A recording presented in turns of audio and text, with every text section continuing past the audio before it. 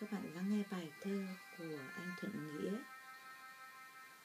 Mật chú của thằng Thiên, Ngày 5 tháng 3 năm 2013 Lúc 12 giờ 57 Thân tặng những em.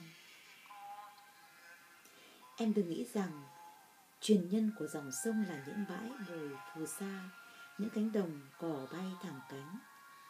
Và như ai cũng ngỡ, Tất cả những dòng sông đều tìm về với biển nhưng chính dòng sông mới thực sự đưa đến cho biển mơ ước đến đỉnh cao. Biển mênh mông bao la, biển cuồng phong rông bão, biển cồn cào, thủy triều, biển bạc đầu tung sóng.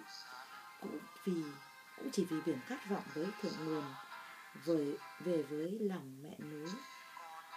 Nơi bắt đầu chảy, của dòng chảy nơi thiên thu phôi thai từ cống rốn của lòng đất. Để lớn dần về phía vô tận, nơi vũ trụ cách mình trăm họn cội nhỏ e ấp bên nguồn suối khai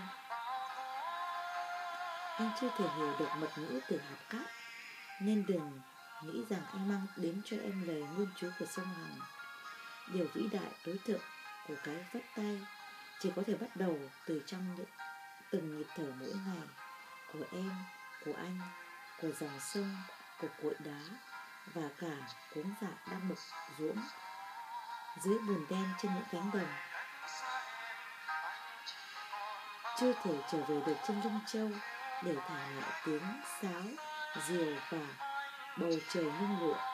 Chưa thể một chiều ngồi ngắm cánh bướm vô yêu chập chờn bên dậu mông dậu bên dậu mồng tơi thì hãy cùng anh làm truyền nhân của dòng sông ấy khi chúng ta bắt đầu rời bến trên một con thuyền để mải miết trèo tới những phương trời vô định, thì cũng trên con thuyền đó, ta trở về bằng những mái chèo, rồi ta sẽ biết trong tiếng hò lơ, có cả cuống dạ có cả cánh cò, có cả ruộng đồng, có cả dòng sông, có cả biển rộng, có cả núi cao, có cả muôn trùng vô tận.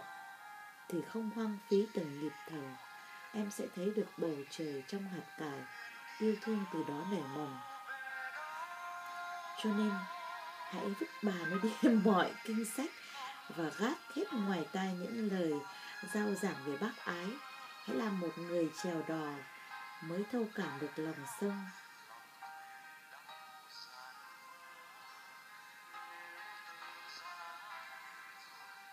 Nếu mà các em vứt hết sách mọi kinh sách đi.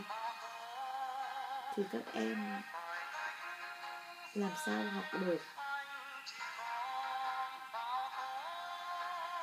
Trong khi đó, thì anh chỉ cần nhìn sách có một lần thì anh thuộc hết tất cả mọi thứ.